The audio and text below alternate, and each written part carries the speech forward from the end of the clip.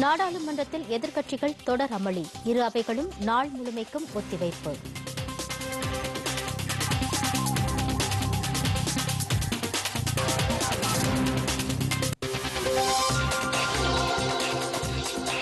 அடுத்த மாதத்திலிருந்து மகளிர் சேமிப்பு திட்டம் அமல்.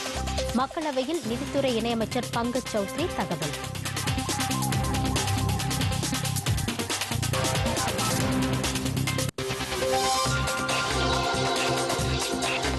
மகளிர் உரிமைத் தொகை மாதம் ஆயிரம் ரூபாய்.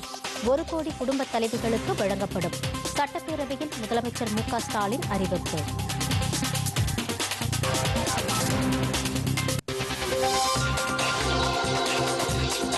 புதுச்சேரியில் தேசிய பாதுகாப்பு பல்கலைக்கழகம்.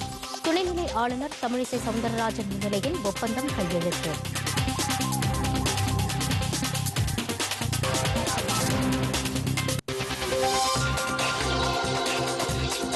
முல்லை பெரியாறு அணை பாதுகாப்பாக உள்ளது. ஆய்வுக்கு பின் மத்திய கண்காணிப்பு குழு தகவல்.